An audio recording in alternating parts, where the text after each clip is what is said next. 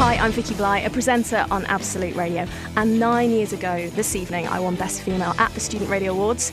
And nine years later, I'm still doing the job that I love. My name's Richie Firth. I'm a co-presenter of the Christian O'Connell Breakfast Show. When we first worked together back in 1999 in Bournemouth, I taught him how to drive a desk. I taught him everything he needs to know, and he's actually become far more successful than I have. My name's Brendan Appleton. I'm an agency sales planner here at Absolute Radio. Basically, what I do is ensure that the adverts we receive go on air and get played out at the right time. Hi, I'm Gareth Evans, Geoff Lloyd's producer on the Hometime show Absolute Radio. Really into my music, um, so this is the ideal job because I get to see loads of live sessions. We have big, big bands in every week. My name's Dan Benedictus and I'm the associate producer on the Christian O'Connell Breakfast Show. It involves getting up at about four in the morning, but on the plus side, you get to do lots of interesting, silly things like filming the team doing a Grand Prix on mobility scooters. Hello, my name's Jenny Nelson. I'm in the music team at Absolute Radio. I'm one of the music producers and I look after Absolute 80s and Absolute Classic Rock. How's it going? I'm Mark Crossley. I'm a presenter on Absolute Radio. I always dreamed of being on the air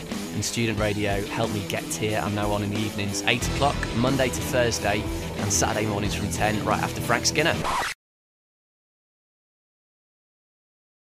Hi, I'm Ricky Gervais. Uh, really sorry I can't be there tonight, um, but I'm doing anything out, something really important. Uh, ah, ah, can I? No. Anyway, good luck everyone there at the Student Radio Awards.